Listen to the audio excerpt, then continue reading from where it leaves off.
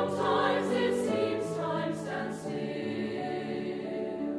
and though